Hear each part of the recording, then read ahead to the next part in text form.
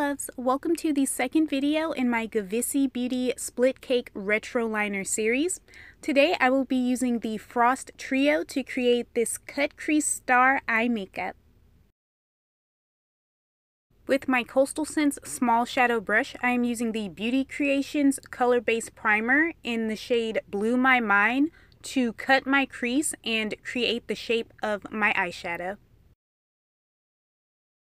I am applying the shade Wavy from the Profusion Festival palette to the outer half of my lid with their flat shader eyeshadow brush.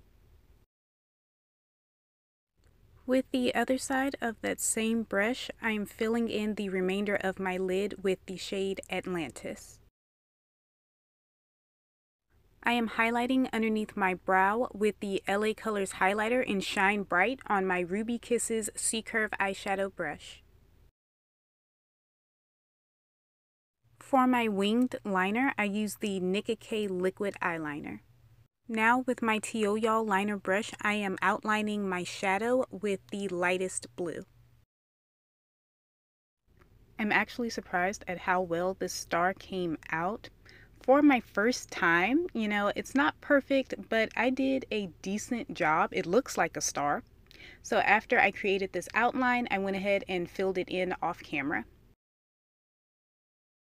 I honestly had a harder time outlining than I did drawing the star because I was so afraid I was going to mess up, which would then alter the shape of the star and I would have to go back and fix it. But again, I think I did a pretty decent job. For this look, I used my Nicka K Define and Lengthen Mascara. Then I followed up with the i ENVY 3D Natural Collection Lash in the style 26. For my lower lash line, I'm using this dark blue shade from my 5 Bull 35E palette on my Energy 111.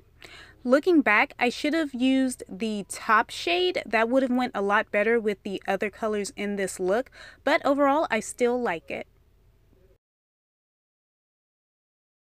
I am using the NYX Epic Wear Liner Stick in Blue Trip on my waterline.